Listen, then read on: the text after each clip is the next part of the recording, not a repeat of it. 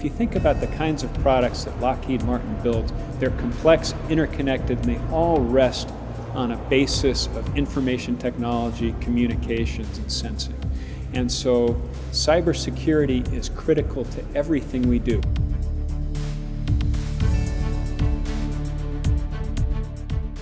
We constantly see new events, new cyber incidents that have a major impact in the world and affect everyone.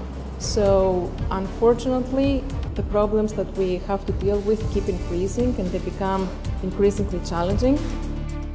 Part of Lockheed Martin's technology strategy is a strategy of global engagement in technology leadership. And universities really are that cutting edge of technology. And so we're here to celebrate a master research agreement that we have just signed with Georgia Tech. The program's been most valuable to me for helping pair me up with the talent needed to learn the cutting edge techniques and find direction for finding uh, new techniques and doing interesting research. I think the program is very valuable for me because uh, I can learn very advanced technology and I can have some network connection between the, um, the industry and the research area.